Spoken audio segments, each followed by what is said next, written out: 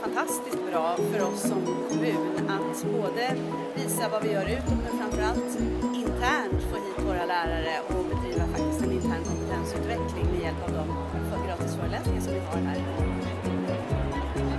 Vi tycker det är en superbra mässa. Eh, det märks att den växer och blir intressantare för varje år tycker vi. Det känns som att det är bra drag och mycket folk eh, och bra, bra diskussioner. Han också, den tidigare regeringen eh, satt ju socialdemokrater och vi har också haft en sån dialog. Att mötas så här, ansikte mot ansikte, det är guld värt.